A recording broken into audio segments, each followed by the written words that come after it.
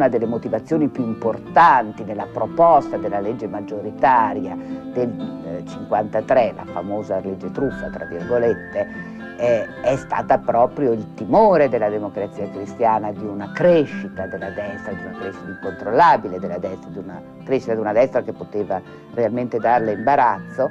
E noi abbiamo nel, contemporaneamente alla riforma elettorale anche la legge Scelba, eh, che è l'attuazione del dettato costituzionale che vieta la ricostituzione del partito fascista. Questo indignò persino personaggi come Vittorio Emanuele Orlando, grande giurista, che fu tenacissimo avversario di questa legge Scelba che discriminava nella maniera più, più abietta una parte degli italiani, che non era una piccola parte. Eh. Più interessante è eh, osservare eh, quella che è stata l'indifferenza, se non addirittura l'ostilità eh, del Partito Comunista nei confronti della legge Scelba, perché il Partito Comunista, Togliatti, che era molto intelligente, si rendeva conto che finché esisteva il movimento sociale veniva in qualche modo messo in frigorifero un milione e mezzo di voti, eh, anticomunisti che altrimenti sarebbero finiti a rafforzare la democrazia cristiana. La legge viene però approvata dopo eh, la, eh, il risultato delle amministrative del 51 e 52. Nel 51 e 52 il Movimento Sociale in alleanza con i monarchici riesce ad avere eh, successi molto significativi nel, soprattutto nel sud e nel mezzogiorno. MSI e monarchici eh, diciamo, privano la DC di, di, di, di quasi un, più di un 7% dei voti, arrivano insieme ad avere quasi il 14% dei voti. Nel momento in cui questo partito eh, conquistava grandi comuni italiani, la messa fuori legge non era più possibile, non era più realistica, sarebbe stato aprire un conflitto civile troppo pesante. Per cui eh, rimane paradossalmente nella Costituzione, in una legge dello Stato, tutti gli strumenti per eh, eliminare una presenza antisistemica di estrema destra, ma eh, la realtà dei fatti, vale a dire il consenso dei cittadini nei confronti di questa forza, è tale per cui si eh, soprassiede. Dunque alla fine è il consenso degli elettori a salvare l'MSI dall'estinzione. Quella del 1953 è il primo vero successo del movimento sociale, un successo che matura soprattutto nel sud dove gli ex fascisti sono alleati con i monarchici e con i movimenti populisti del mezzogiorno.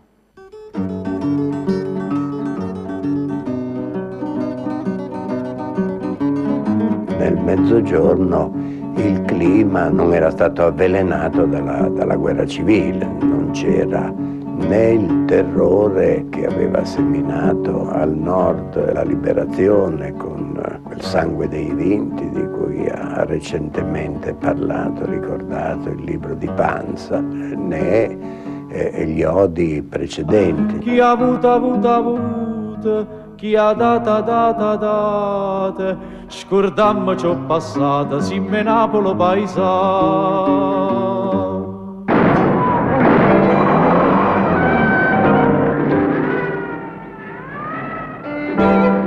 Quando è arrivata la polizia noi ci abbiamo chiesto pane e lavoro, mentre lui diceva a noi andate via, andate via, ma noi ci facciamo ma perché dobbiamo andare via? Noi vogliamo la terra per seminare, per fare, per fare del grano, per mangiare, ma perché noi dobbiamo andare via? Vi dico andate via, mentre noi che parliamo così lui e la polizia mise a sparare, manganellate su di noi, e bomba a mani, bomba lacrimoce, ha ucciso asini, ha rotto barile, e insomma ha uccisi anche noi.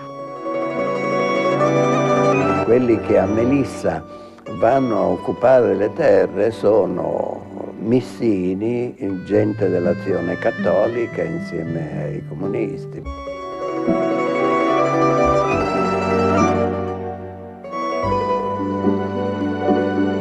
I comunisti nei primi 15 anni dopo la guerra sono stati discriminati molto più duramente di noi. I comunisti hanno avuto più di 100 morti in conflitti con la polizia e con i carabinieri, in manifestazioni sindacali o, o politiche di piazza, mentre eh, noi neanche uno. La Celere è stata organizzata da, da Scelba, camionette, manganelli, per pestare i comunisti. Insomma. Durante gli anni 50, nonostante legge Scelba, il movimento sociale, grazie alle alleanze che ha e che riesce a stringere con i monarchici, gioca un ruolo molto importante. Sostiene anche alcuni governi democristiani. Abbiamo appoggiato determinato con i nostri voti ben quattro governi nazionali. I nostri voti furono accettati, richiesti, graditi, nessuno pensò a respingerli. Nel 1953 l'anima parlamentare eh, sta prevalendo perché c'è un'occasione, perché eh, negli equilibri eh, parlamentari del dopo elezioni del 1953 e, viene fuori una maggioranza di governo eh, che non è più la maggioranza del 48. Abbiamo con la democrazia cristiana collaborato e sostenuto 28 giunte comunali e provinciali in capoluoghi di provincia. Noi fummo parte integrante, noi soli, della maggioranza che tenne in piedi l'onorevole Tambroni nel 1960. I nostri voti hanno contribuito a eleggere due presidenti della Repubblica, il secondo in maniera determinante. L'MSI insomma non solo supera la fase della sopravvivenza ma diventa una forza politica determinante. Determinante per sostenere giunte locali, un governo, per eleggere due presidenti della Repubblica. La classe dirigente del movimento sociale è molto diversa dal, da quella del nucleo originario fondatore. A capo del partito sono adesso i moderati, i moderati di Arturo Michelini, un ex assicuratore che guida l'MSI fino al 1969. Dentro il partito il suo grande rivale è Giorgio Almirante, amatissimo dalla base, che rappresenta invece l'anima movimentista dei Missini. Sono proprio Michelini ed Almirante ad animare lo scontro interno alla classe dirigente del partito per molti anni. Michelini, segretario del partito, era considerato da noi molto giovane un uomo... Non aveva fatto la Repubblica Sociale, questo già era diciamo, ben pensante, un uomo mite. Dove era stato? Che aveva fatto? Noi eravamo più estremisti. Sinceramente un corpo estremo. Però, siccome lui aveva, aveva la borsa in mano, capito? E il partito aveva bisogno di ossigeno. Io ho fatto anche delle affermazioni contrarie a statalizzazioni che di sociale non hanno assolutamente niente. Io considero anacronistiche posizioni privatistiche eh, sul terreno economico assunte dal Movimento Sociale Italiano o da altri partiti. Oggi Siamo alla creazione di grandi corruzioni finanziarie al servizio di chi esercita il potere politico. Problemi di questo genere a noi non potranno che trovarci sempre contrari. Noi quindi siamo molto modernamente sganciati da visioni settoriali e da visioni relative alla difesa di interessi privatistici che non concepiamo nel quadro di una economia corporativamente Uno intesa. Stato che ormai in Italia fa tutto. Perché uno, lo Stato fa il tabaccaio, vende il sale, il gioco del lotto, le ferrovie, non c'è problema, la banca, le assicurazioni, non c'è cosa che lo Esiste, Stato lei dice, anche una destra reazionaria. Beh, se allude al vertice della Confindustria sono del tutto d'accordo con lei. Abbiamo pessimi rapporti con il vertice della Confindustria, lo ha rilevato l'unità l'altro giorno e mi ha fatto grande piacere. La più grande politica sociale si ha quando si difende il potere d'acquisto della moneta. È lì